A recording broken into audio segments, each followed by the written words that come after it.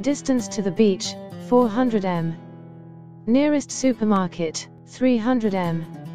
Nearest public transport, 300 m. This house is located in one of the emblematic streets of Estepona very close to the beach and any kind of service. Ideal to reform to your liking besides being able to use the ground floor to open a business if you wish.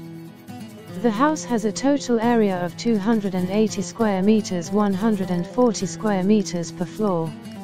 It currently has two floors but a house with three floors could be built.